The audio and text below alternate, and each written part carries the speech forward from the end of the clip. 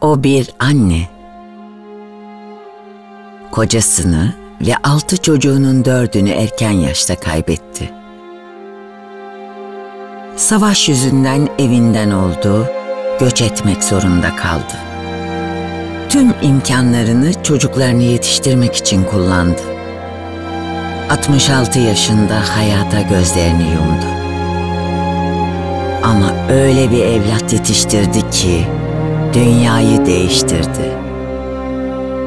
Tüm annelerin anneler günü kutlu olsun.